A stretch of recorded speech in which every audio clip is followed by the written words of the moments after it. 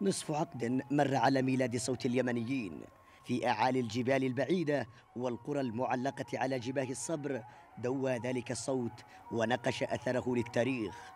حيث الأحلام والمعاناة والتعب في السهل والصحراء تتلمسها بلقيس في الريف والحضر حكايات كثيرة. ومنذ انطلاقتها الأولى قبل خمس سنوات اختارت بلقيس أن تكون صوت الناس بريد المنهكين من ويلات الحرب.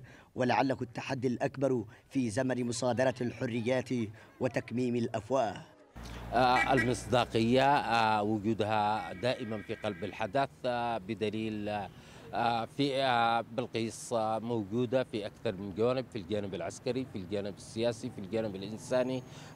وجود متميز وقوي جدا لهذه القناة. قناة بلقيس قناة جامعة لم تنحز لفئة أو لجماعة أو لفكر معين وإنما كانت قناة نستطيع أن نقول أن نصفها بأنها قناة الإنسان.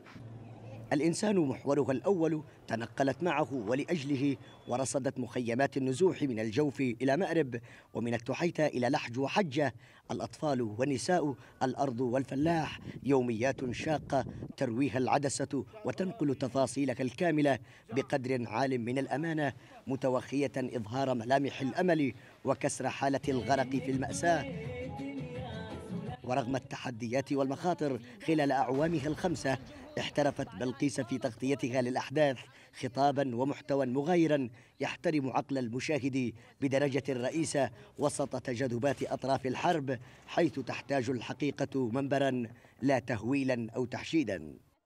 قناة بلقيس تعتبر إضافة جديدة في عالم المهنة آه، ما زالت حتى الآن بعد مرور خمس سنوات تحترم العمل الصحفي وتحترم المهنة الصحفية. خمس سنوات كانت بلقيس هي الأقرب منها إلى الناس والحقيقة وهو الامتحان الصعب الذي تجاوزت معه منفاها الاضطراري ومقرها خارج البلاد لتقدم قوالب متنوعة في تجربة مميزة تتقدم الشاشات اليمنية إن لم تنفرد بها وفي كل عام تشهد تطورا ملحوظا بحسب المشاهد لتظهر بحلة جديدة.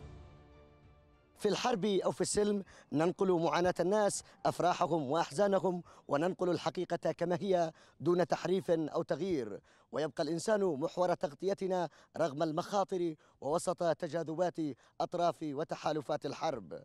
على الجرادي قناة بلقيس مأرب